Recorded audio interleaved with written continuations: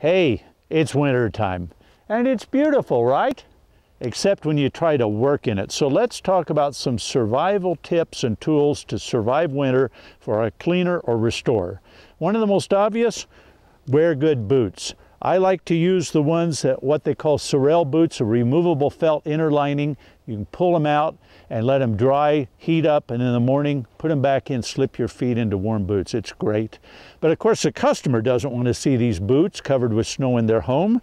So one of the things I like to do is carry nice set of leather moccasins to slip on at the front door. They're comfortable to wear, they won't mark.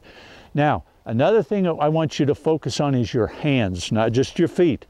Your hands are using wet, cold hoses. It's freezing. Nothing worse than cracked fingertips. So always glove up with uh, waterproof gloves that are breathable on the back.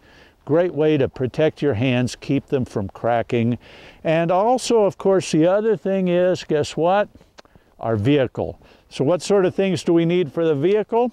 Well, one essential is a good solid snow shovel. Dig yourself out of those drifts clean off your customer's walk. And of course, along with the walk, I also recommend, guess what, a broom. Keeps your vehicle clean of snow, keeps the customer's entryway clean. And then speaking of, uh, and lots of snow, let's talk about a tow strap. Have a tow strap. It can save you a lot of tow bills if you do get into a ditch. Make sure it's a good one.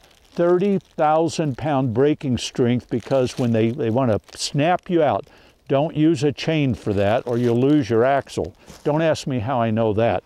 And of course, finally, I also want to remind you to carry a set of jumper cables.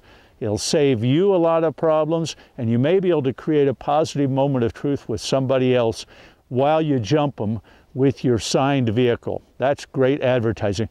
And it looks like it's snowing even worse, so I'm signing off and I'm getting out of here. Stay warm.